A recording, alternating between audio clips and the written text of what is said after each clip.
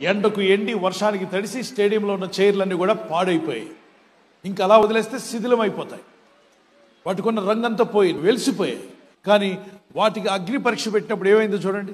ఏమాత్రం paint అయిట్లా just అగ్ని దానికి అంటిస్తూ ఉంటే ఆ లోపల దాగి ఉన్న రంగంతా బయటకు వచ్చి ఆ బయట లేయర్ అంతా కాలిపోతుండగా లోపల ఉన్నదంతా మెరిసిపోతూ కనబడుతుంది. కొత్త చైర్గా కనిపిస్తుంది. అది నూతన పరచబడింది నూతన పరచబడింది ఆ అగ్ని ఆ చైర్లో ఉన్న మాసిపోయిన రంగును తీసి పడేసింది ఈరోజు మన బ్రతుకులే నూతన పరచబడడానికి పరిశుద్ధాత్మ అగ్ని మన మీదకి వస్తూ ఉండగా నూతన పరచబడబోతున్నాయి ఈ నూతన సంవత్సరంలో మీ ఆత్మీయ స్థితి నూతన పరచబడాలి మీ భక్తి నూతన పరచబడాలి మీ విశ్వాసము నూతన పరచబడాలి మీ నిరీక్షణ నూతన పరచబడాలి మీ ప్రార్థనా జీవితము నూతన పరచబడాలి మీ భక్తి జీవితము నూతన పరచబడాలి మీ పరిశుద్ధ జీవితము నూతన పరచబడాలి దేవుని అగ్ని మన మీదకి రావాలి అన్య అగ్ని మనకు అవసరం లేదు. దేవుని అగ్ని మనకు కావాలి.